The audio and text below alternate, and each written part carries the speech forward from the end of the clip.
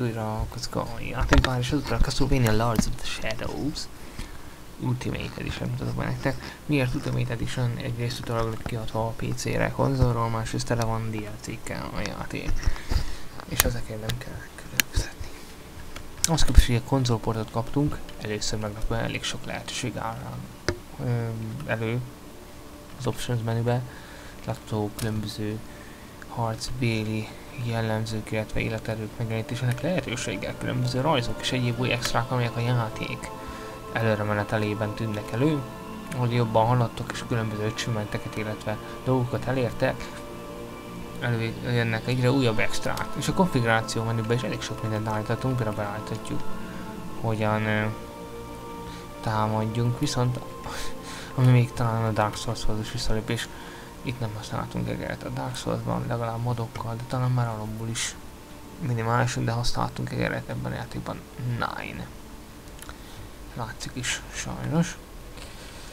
Ez már mindjárt az options-be kiszúrhatja szemünket egy hatalmas negatív. Majd ide a videó lehetősége, amely szintén viszonylag részletes, az képest, hogy szimpla konzolportot kaptunk, amelyet egyébként sokan köztük a kritikus cikkírók is szerettek dicsérni. Én viszont nem így vagyok vele ugyanis én PC-n játszok, és PC ezért sajnos nem kontroll szembe kell néznem a dolgokat. Lehet, hogy a kedves tesztelőknek van kódját tudják könnyebben nézni, én nálam ez nem helyzet, úgyhogy ezért is vagyok soha játéka kapcsolatban van, és látható a nyelvek beállítása.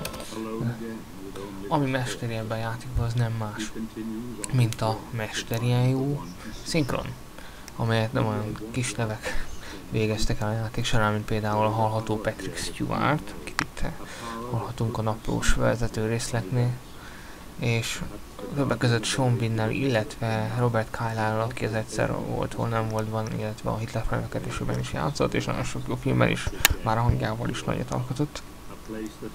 Nagyon sok színésznő is van a játékban, akik kisebb-nagyobb szerepekben már láthatóak voltak tévéken, filmekben és itt láthatjátok magát, amelyet eléggé nehéz irányítanom.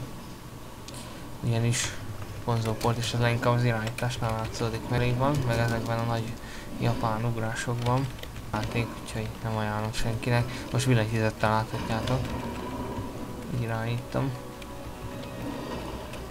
Olyan szempontból még a Dark Souls-nak a harcrendszerése hogy ott van egy bizonyos beölési rész, egy szünet is taktikázhatunk, eldönthetjük, hogy mit akarunk, de ebben a játékban vagy bosszok ellen fogunk harcolni végig, vagy azoknak a kisebb verzióival és úgymond mobokkal.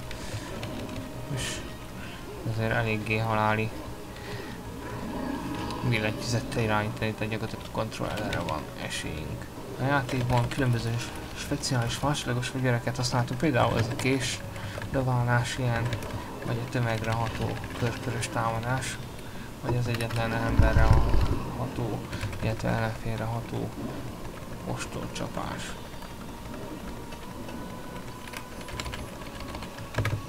Zeneileg, illetve szinkronban mesterjáték, de hát kilépeget, illetve elnyomás miatt én a billentyűzeten nyomom, beragodó billentyűzet címe, kisdog a Windowsba, iszonytató a kamera, hát ez óta rossz, nem tudom, hogy konzolon is szerintem rossz, de szűk látókörűséget okoz körülbelül meg epilepsziát.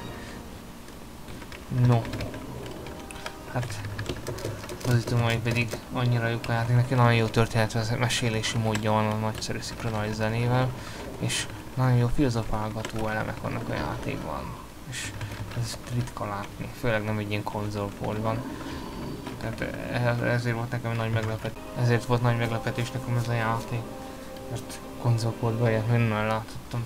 Amikor meghalunk, akkor pedig egy lassítással meglá megkapjuk, meglátjuk azt a helyzetet és időpontot, amikor meghaltunk.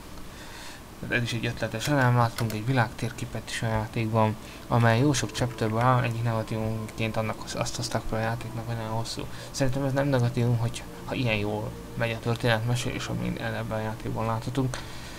Csak az a negatívum, hogyha a játékmenet maga az irányítás, a lehetőségek nagyon piszint háza vár ránk, mint ami ebben a játékban látható.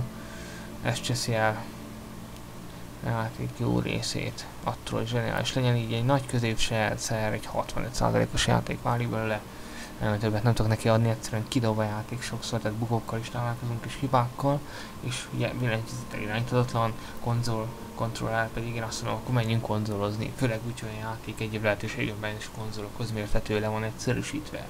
Kevés lehetőségünk van, a kamera le van szűkítve, de olykor beragad és káosz Egyszerűen ezek azok a negatívumok, amelyek ezt a játékot gyakorlatilag tönkre teszik, pedig egy nagy gyémánt.